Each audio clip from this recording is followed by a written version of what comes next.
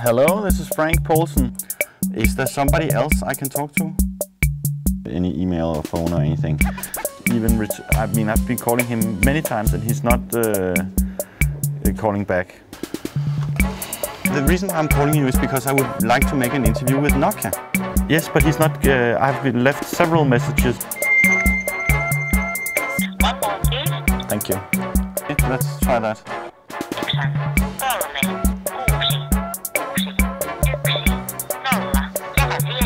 Hello? Is? Kan man ikke sidde der og grine? Det er sgu ikke for sjovt, det her.